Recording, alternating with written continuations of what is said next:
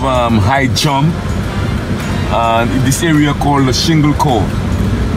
They also filmed the Pirate of the Caribbean around here. Sorry?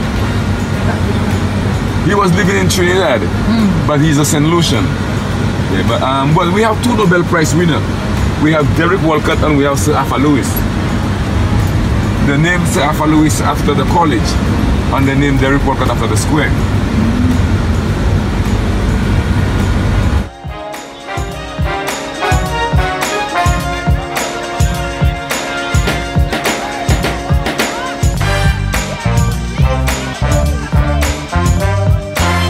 Is our national tree. It's called calabash.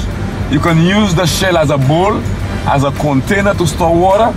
Um, we do a lot of stuff with the shell, but we, it's not edible.